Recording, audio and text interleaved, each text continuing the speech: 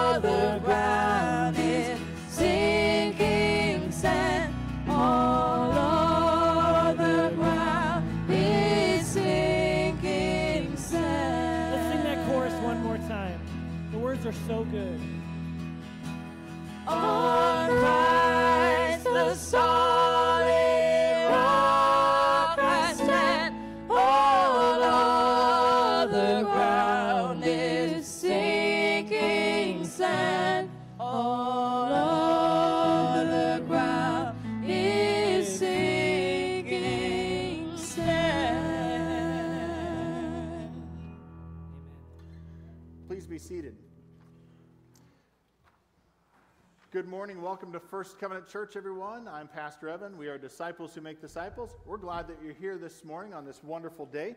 Um, I'm just going to give uh, just a couple of short announcements, and we're going to move to something fun to celebrate. Um, but if you're a guest with us or newer with us, make sure you grab a notebook at the Welcome Center and a sticker or two to stick on a water bottle or your neighbor's water bottle or something. We're glad that you're here with us today, and we're glad that you've joined us in worship. Um, today, after worship, our normal snacks will be there, um, and we invite you to that time to take a left uh, before you go out the building. Um, Sunday school for adults is happening today. Confirmation is happening today, but we've kind of moved into our summer scheduling for all other ages, so there's no Sunday options for all the other ages. They can. Oh, whoa, there is. Wow, I learned something new. on the last Sunday school party and we'll kind of review everything we talked about the whole year and play a lot of games and have some fun. So currently, don't pay attention to what I'm saying right now. Pay attention to me later. Thank you. So apparently, there's a lot of Sunday school going on today. Do the normal thing. Ignore everything I just said before, except confirmation students are over there this Sunday instead of over here. So go that way for confirmation students. You'll find your way. Um, then let's celebrate a couple things. And we're going to celebrate graduates in just a moment from high school.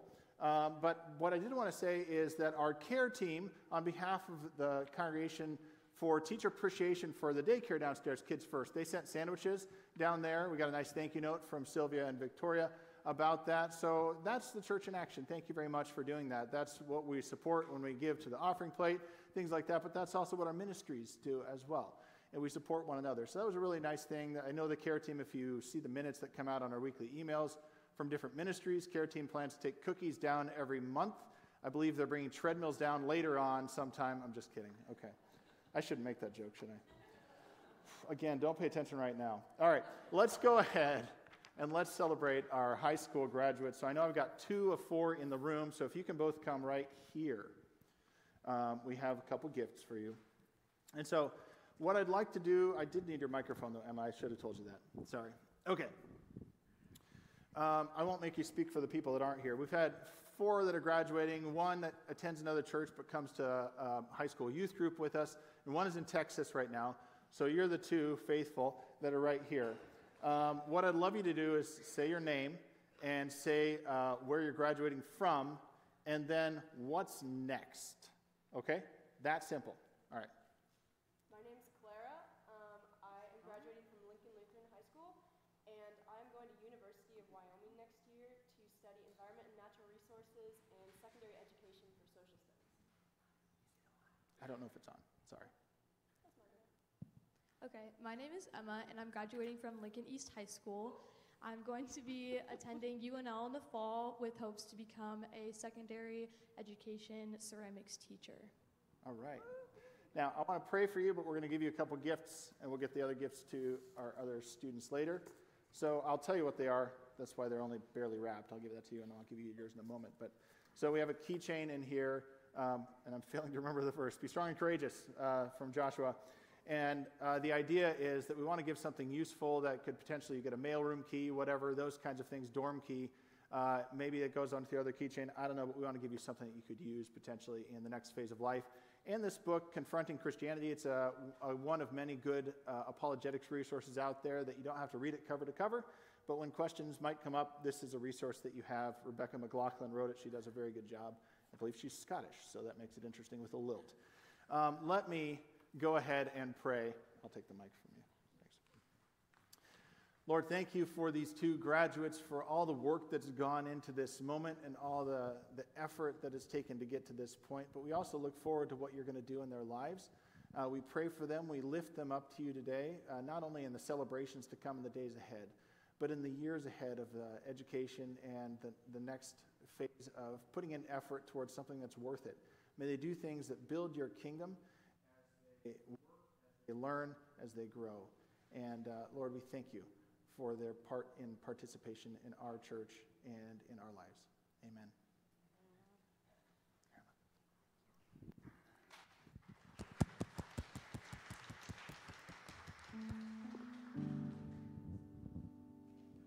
Please stand and sing with us.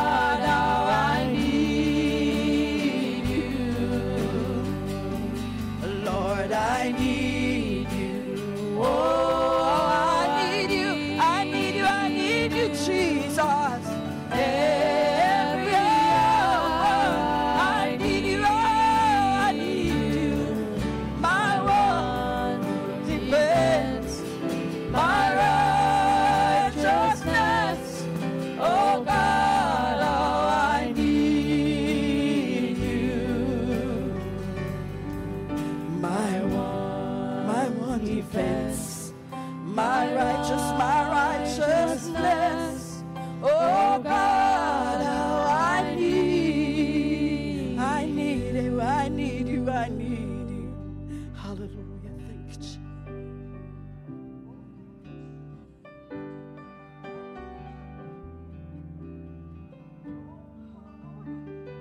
O God, you are our only true refuge, our steadfast shelter.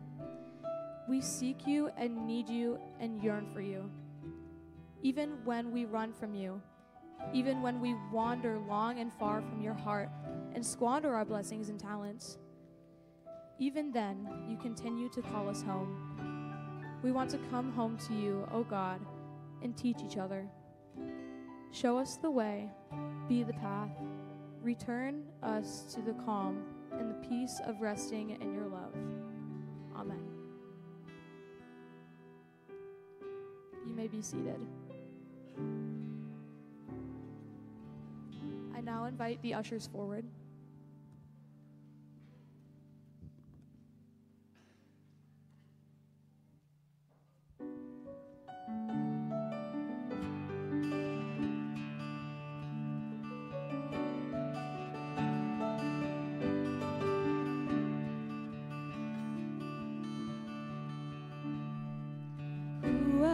Commands all the hosts of heaven?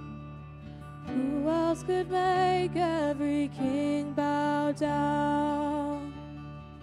Who else can whisper and darkness trembles? Only a holy God. What other beauty demands such praises?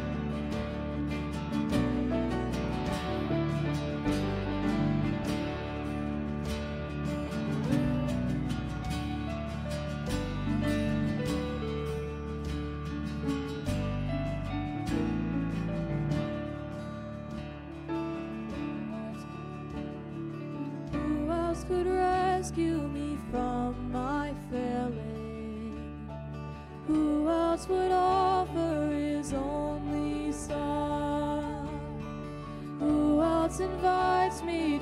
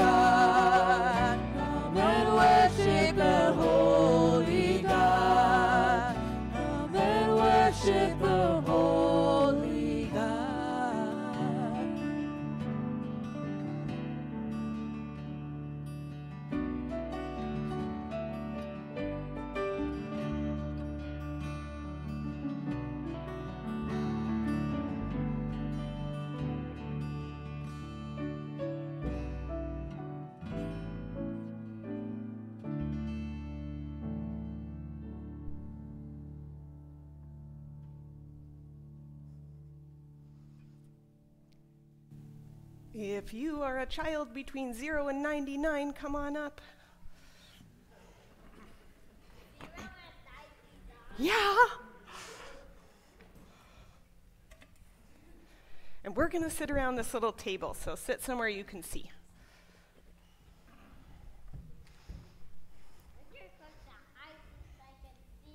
Well, I want you to be able to see the table, so you might need to scooch like a, in a semicircle. And you might all say a little prayer that this is work. This is going to take some faith. You're going to wait for me to touch. She can. okay, we have some apples here, right? They're Honeycrisp apples. Do you like Honeycrisps? Yes. It's just like a, a kind of apple, a variety, but they're very sweet. Um, do they look different, these apples? This one is shorter. That one is shorter, yep. Chunkier.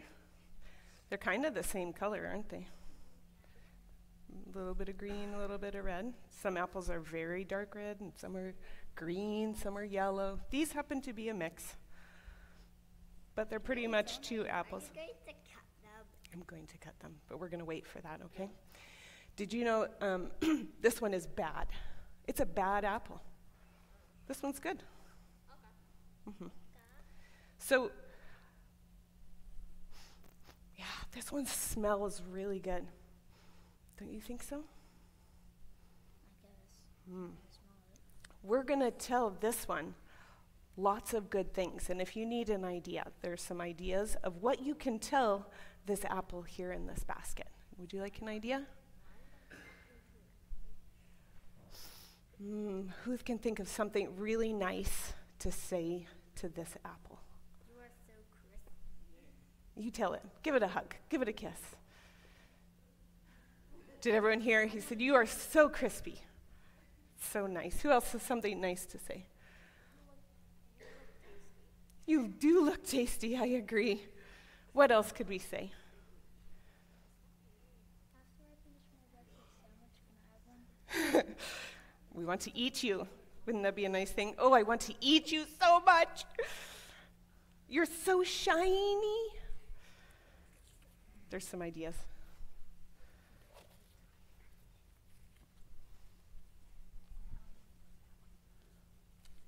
What You are so sweet. You are so sweet. You are so nice. You are so nice. You smell good. You're the perfect color. How do you think the apple's feeling about this? Pretty good. Good. Well, this is the bad apple. Yeah. This is the bad apple. Say bad things about the Ew, you smell bad. No, that's a bad apple. I'm telling you. Don't you believe me? If you need some ideas, there's some ideas. What could we say to this bad apple? You look like queso. Say it again. You look like queso. You look like queso? you look like queso. see a wormhole, you must be naturally stinky. Oh, I don't see a wormhole. You must be naturally stinky. Say it again. You are so dull, not shiny. You won't be your friend. We don't want to be friends with you.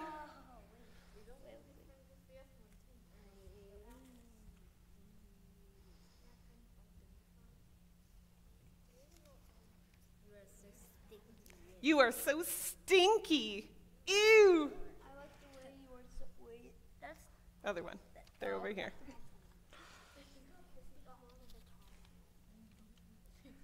Well, this bad apple, how do you, how do you think he's feeling right now? I mean good. Bad. So let's cut open this shiny, good apple. It's gonna be bad inside. Ew. The shiny, good apple. Mmm. So happy. It does smell good. To open the Now let's cut open the bad apple. That's clean. It's not. It's clean. Feel it. Feel it. Um, it's mushy. You feel? Ew. I'm a picky eater. Ooh, it's dripping. Woo! Cut it Looks like you cut it Oh no. Yeah, Leslie. nice from that. Our words, our words really hurt the apple. Inside, we couldn't see from the outside that anything was different. But inside, it was really in the apple's heart. Our words did not make the apple feel good. Did you know that the Bible says that if we call people names, we're in danger of going to hell? That's a hard saying of Jesus. You could die. Thankfully, Jesus gave us a way out. Our rescuer gave us a way out. We do make mistakes sometimes, and we do hurt others. But a rescuer came to give us a way out and show us how we cannot be in danger of going to hell. You know there's a book Just wait. Bad Apple? Yeah, there is. Oh. Did you know that research says it takes seven times of saying something nice to counteract, to balance out saying something mean? If we say something mean, it hurts so bad, it takes seven times of saying something nice to even start to heal someone's heart. That's a lot of nice things to say. All right, friends. Let's talk to Jesus and then we can go back to our parents. Luke. Are you ready? Jesus, please help us use our words not as weapons, but to help others grow and be kind and healthy and have their hearts be nice and juicy and lovely inside. and um, when we do mess up, please help us come to you so you can rescue our hearts and help us be kind and good once more. And all God's children said, Amen. Amen. You may go back to your parents.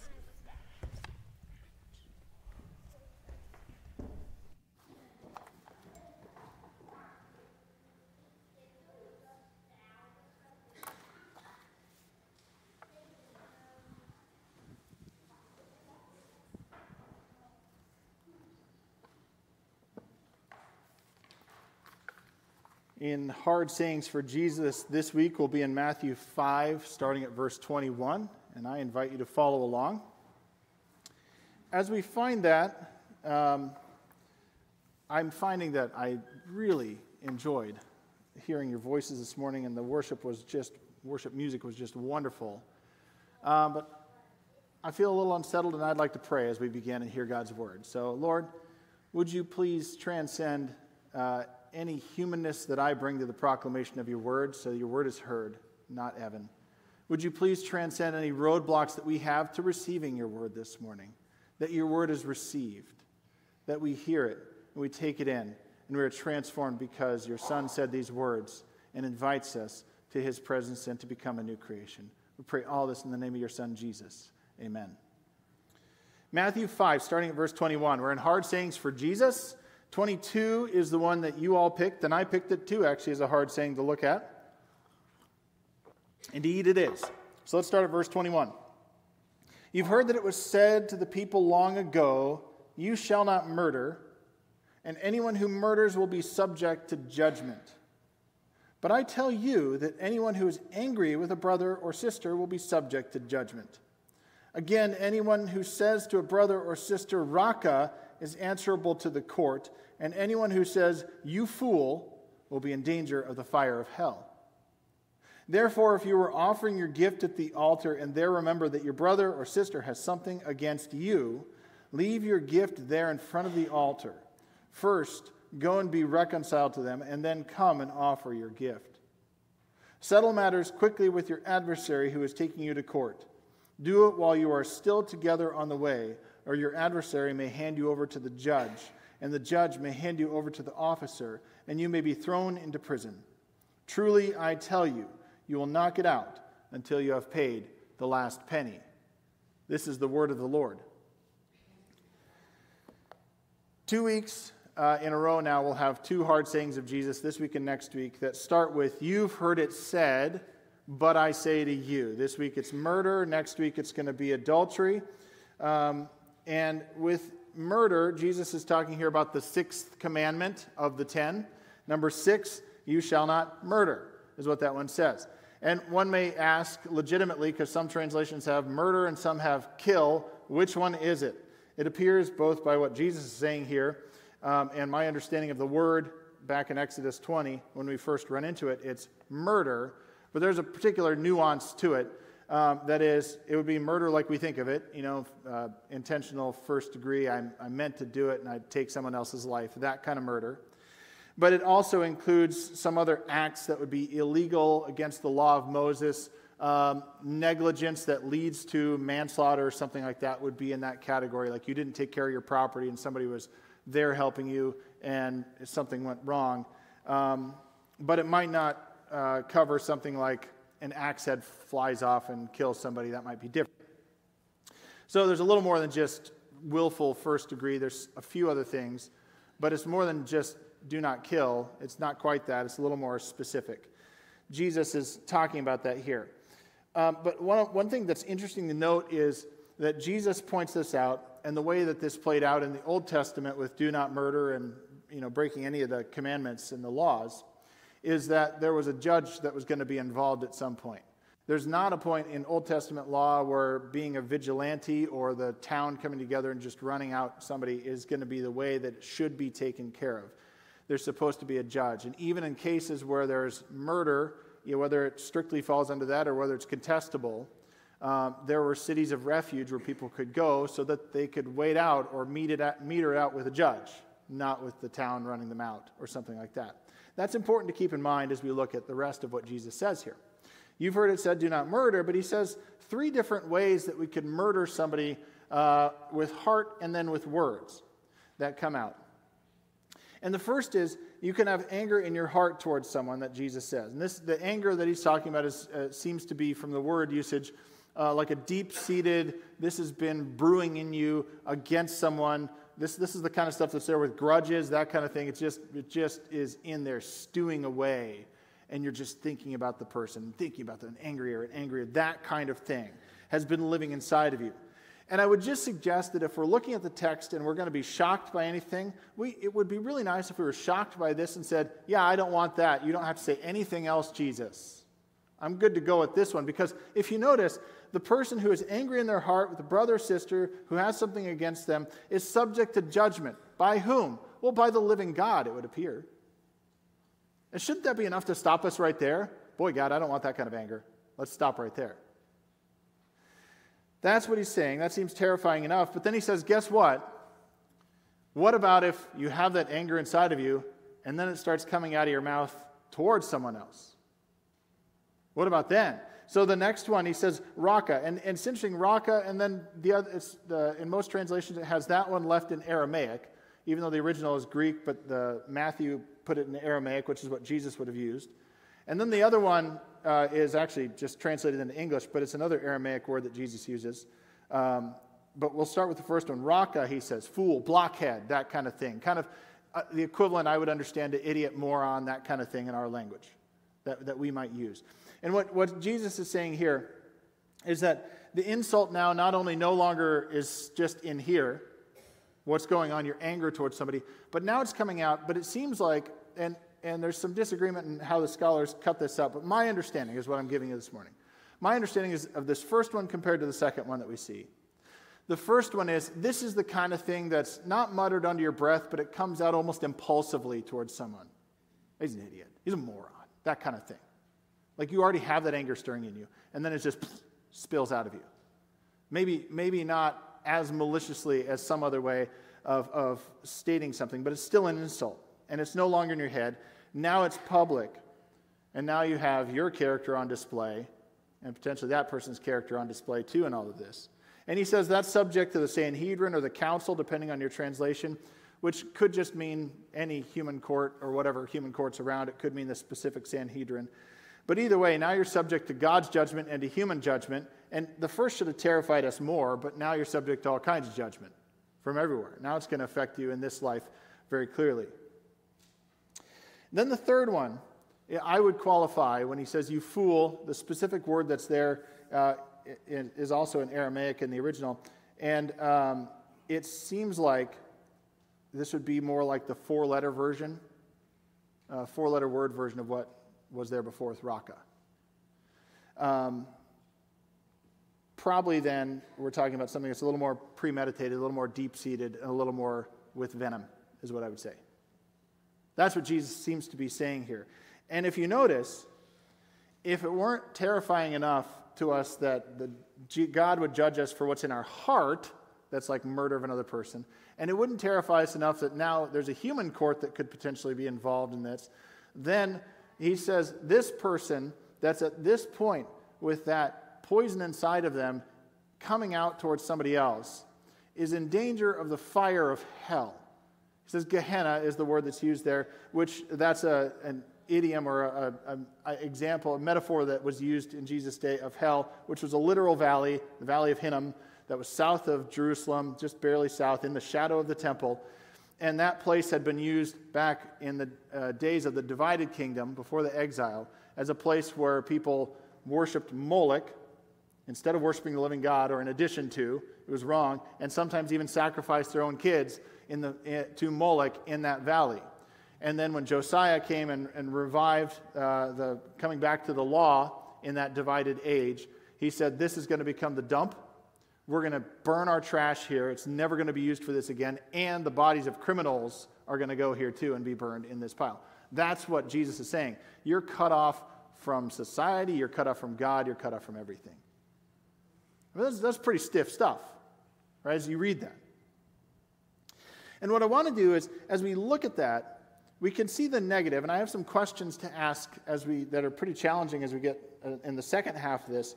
But I want to look at sort of the positive half of what, what we see here with what's related in the text are the results of bad character.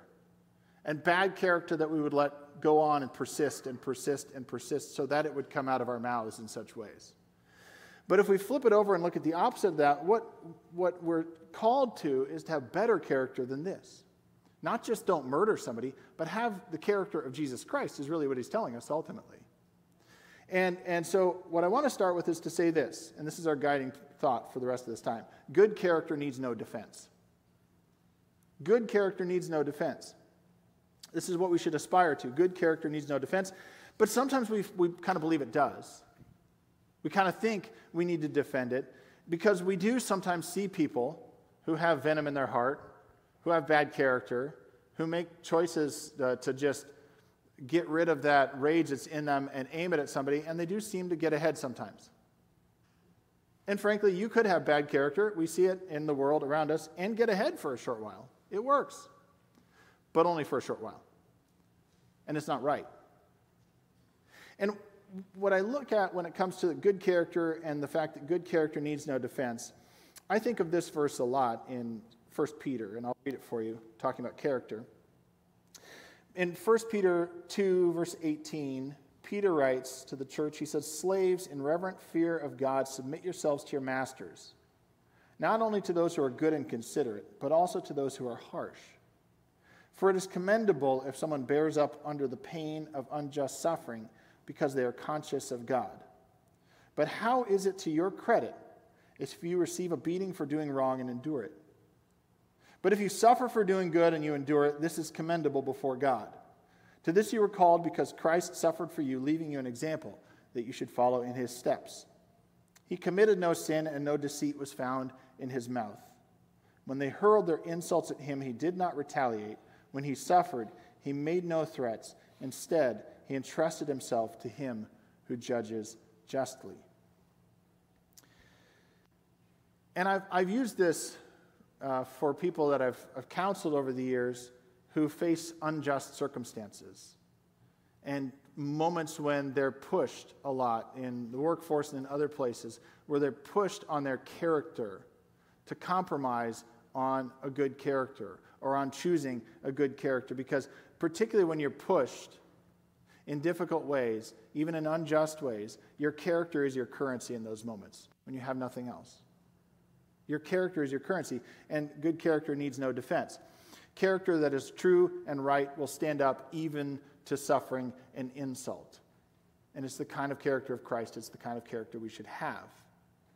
That's the flip side of what we're reading here, of what Jesus is aiming us at. And I, I, would suggest to you that if you want to see good examples of people who bear under unjust suffering and have good character, the, the persecuted church around the world does this phenomenally in the worst of circumstances.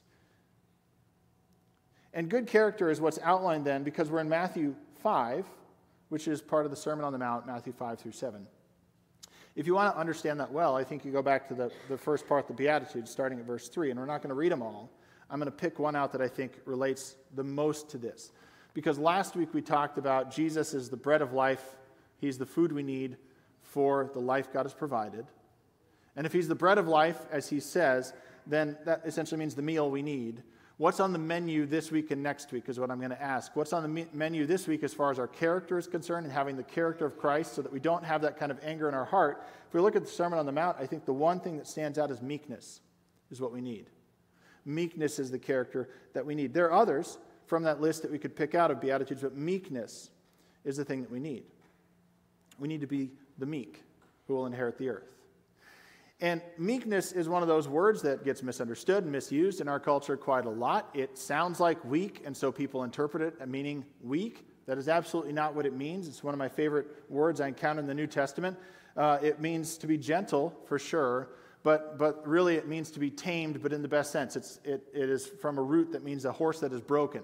So it's horsepower or power aimed and now useful in the right direction. That's what meek is. And that's very powerful. It's power under control, is what it is. Somebody who's meek is generally, yeah, going to be gentle. They will be reserved for the most part. But when it comes to taking care of what's right and what's true, they're bold in those circumstances to step in and do what's right. That's what the meek person does. They don't until it's right. They can stay back until it is. But they're bold when they need to do what's, what's required and what is right.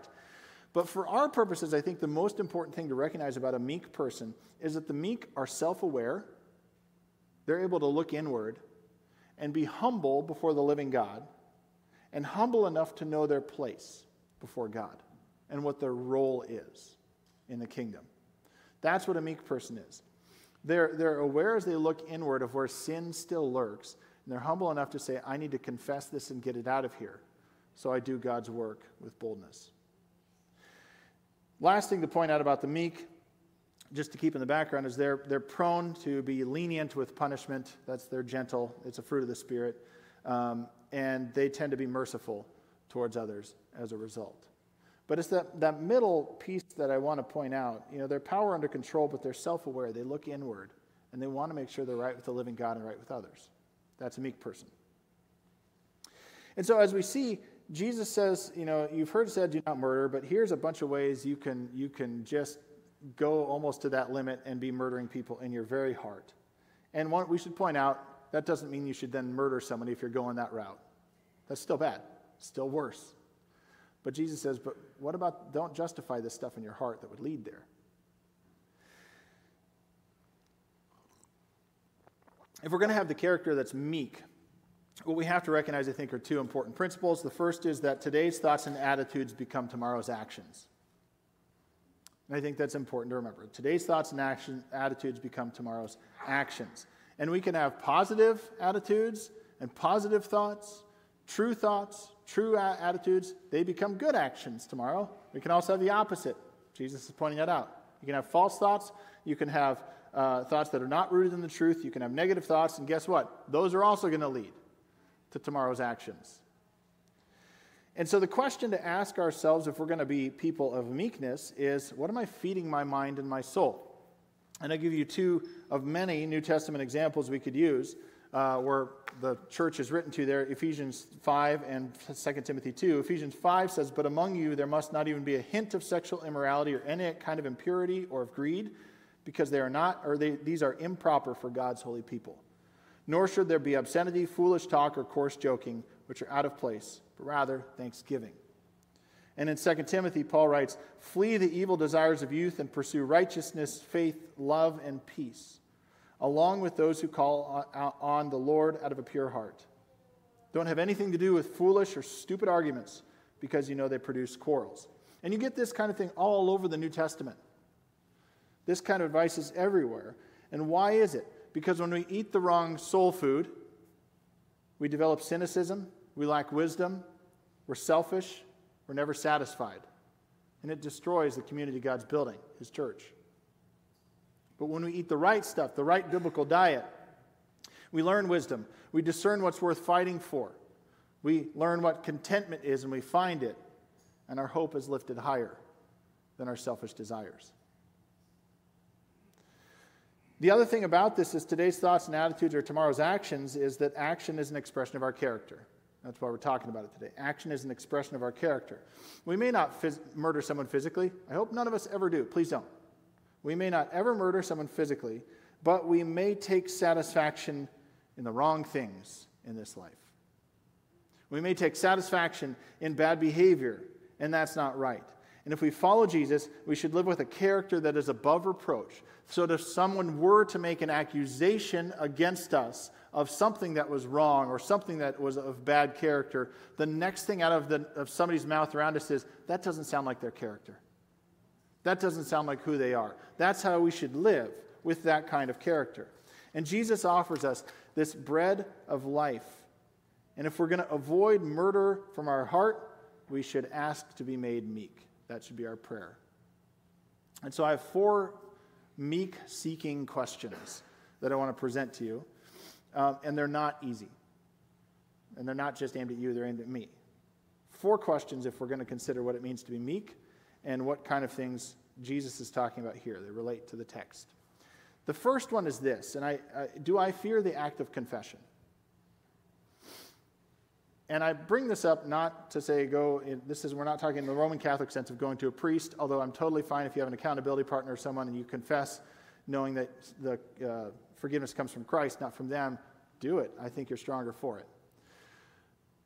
But I've been pastor long enough to know that a lot of people fear this. A lot of people fear going to the living God with what's wrong. A meek person does not. A meek person will look inward and find what's wrong and take it to God. Confession is to admit, admit your guilt and sinfulness and then is followed up by seeking forgiveness and turning in a Godward direction, repentance. Ephesians 5:12, Paul says, "It is shameful to even mention what the disobedient do in secret." And sometimes we're ashamed of it too. That's why we don't confess. We're ashamed of what's going on inside of our own lives and inside of our own hearts sometimes. And as I said earlier on, good character needs no defense, but if you think of it the reverse, bad character needs constant justification. Constant.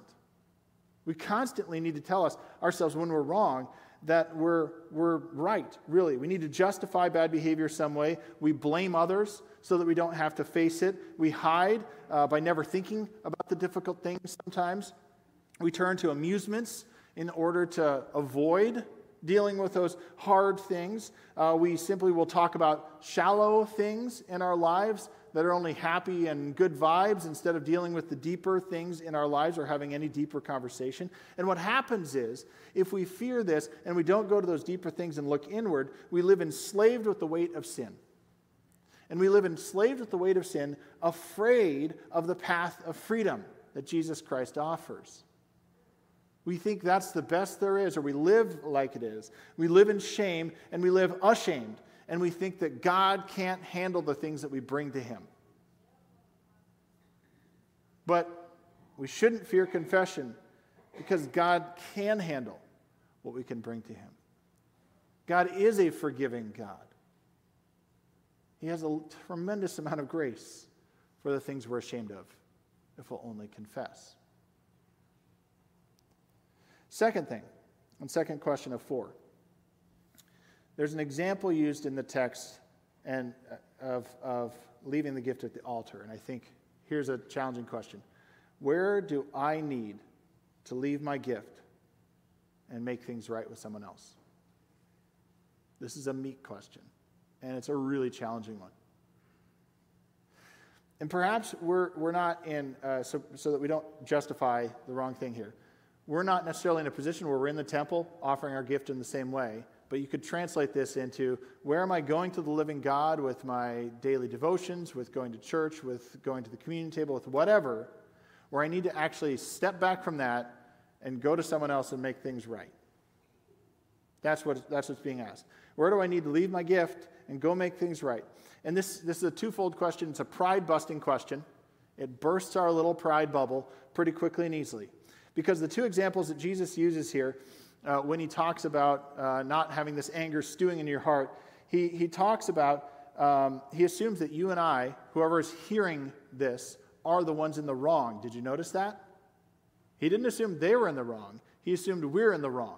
Somebody's taking you to court. You, some brother has something against you. And you're taking the initiative to go and make things right. Is that the case with anyone in your life right now? That's the question that gets presented here. And that's what I think Jesus is very much asking.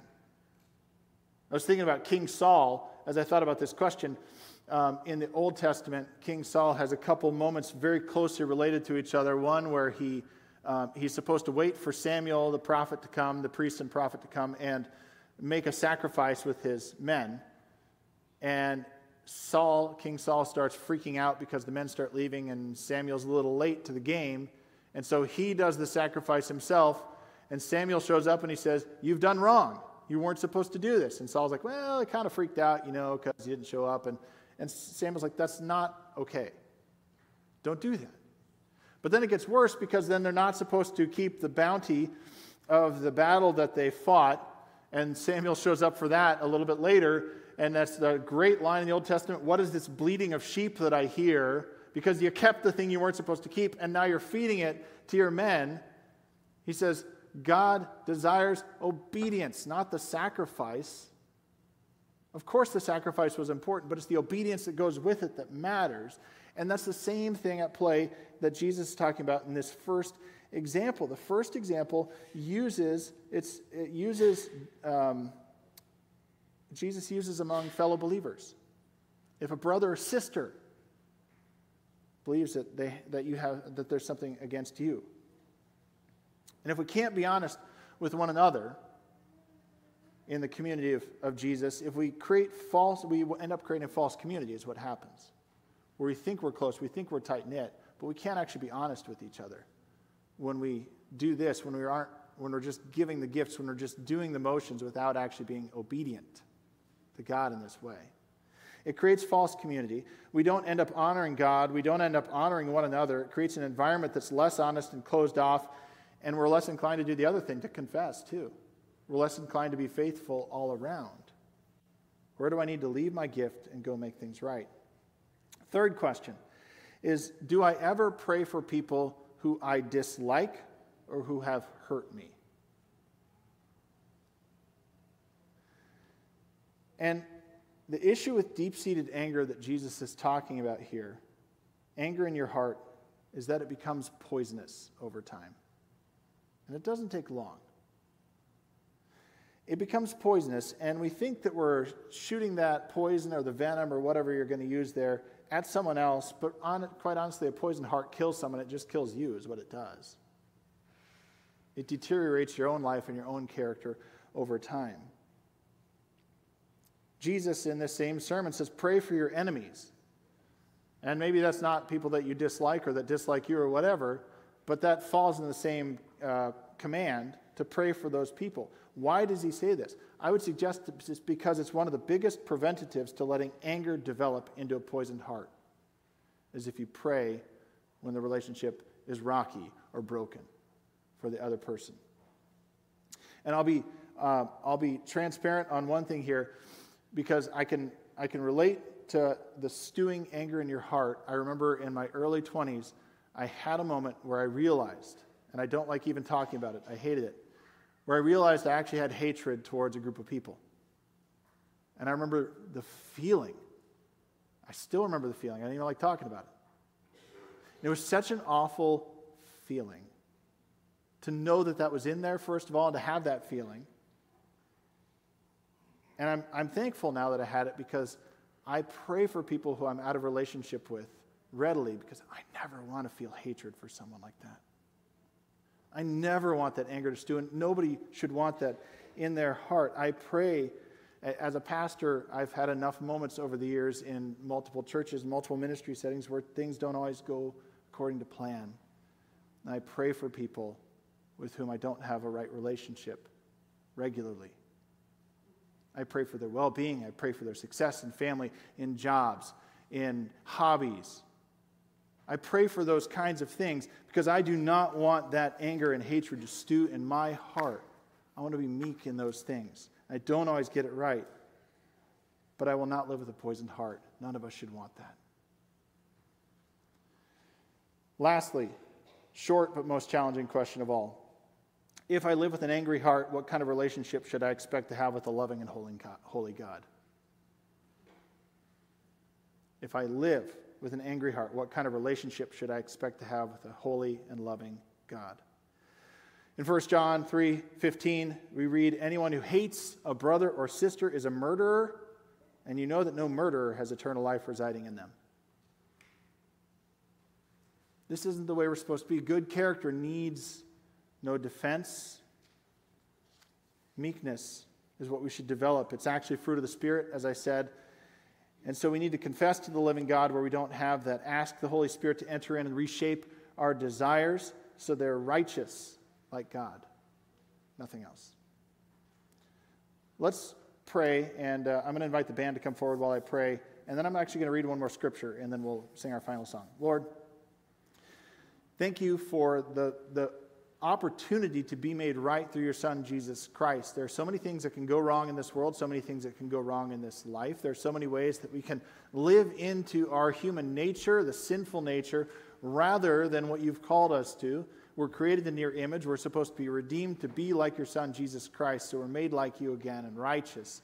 And yet there are so many things that pull and tug away at us to pull us away. There are so many voices in this culture that tell us that we'd be more satisfied if we just said the four letter words or the things that were rude towards someone else. And yet, Lord, that's not what you've called us to. That's not who you've called us to be. You've called us to be people who, who pray for those with whom we're out of communion.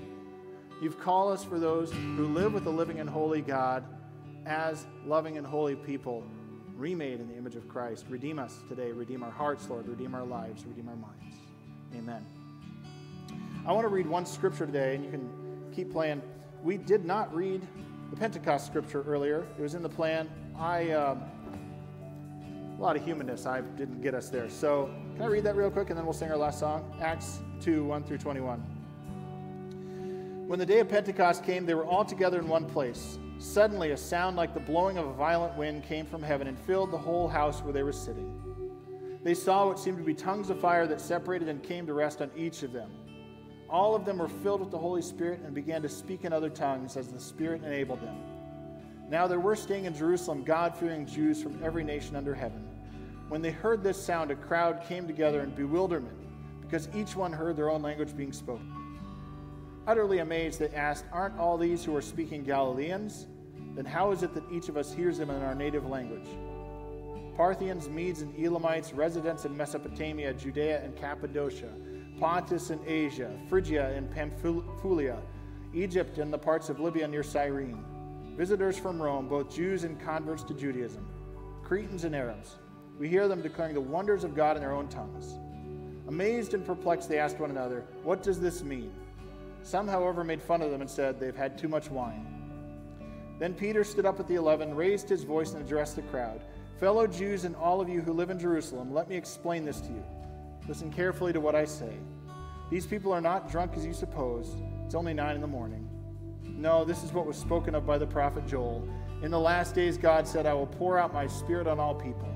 Your sons and daughters will prophesy. Your young men will see visions. Your old men will dream dreams.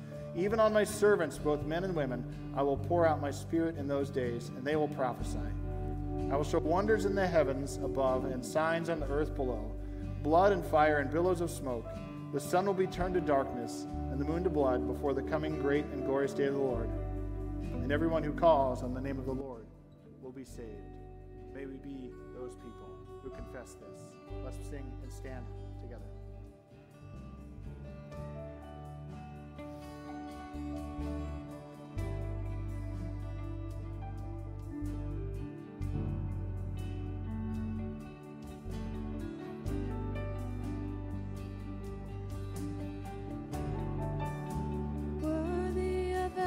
song we could ever sing.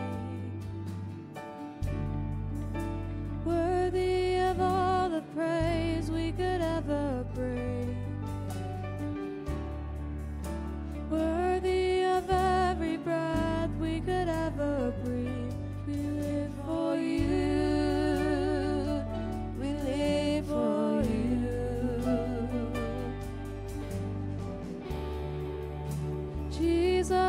Name above every other name. Jesus, the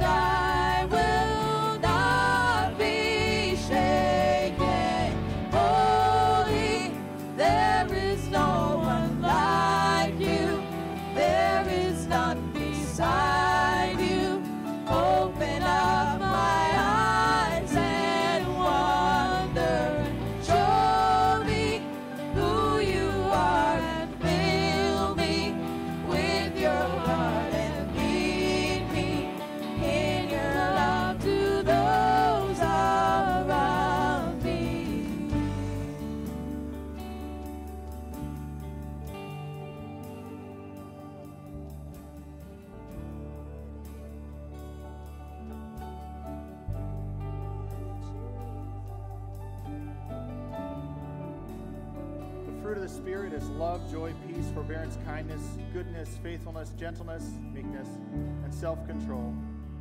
Uh, against such things there is no law. Those who belong to Christ have been crucified, have crucified the flesh with its passions and desires. Since we live by the Spirit, let us keep in step with the Spirit. May you receive these words, go to Sunday school, enjoy the fellowship of one another, go in peace.